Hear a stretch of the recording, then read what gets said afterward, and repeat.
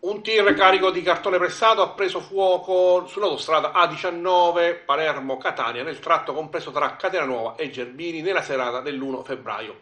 L'incendio ha richiesto l'intervento dei vigili del fuoco del comando di Enna che hanno lavorato fino a tarda ora per domare le fiamme in collaborazione con la Polstrada e l'ANAS.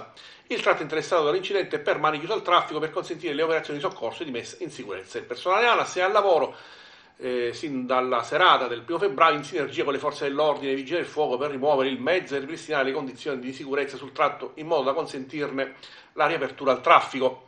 L'ANAS ha consigliato agli automobilisti diretti a Catania di uscire a Catena Nuova e di proseguire sulla statale 192 fino al capoluogo etneo.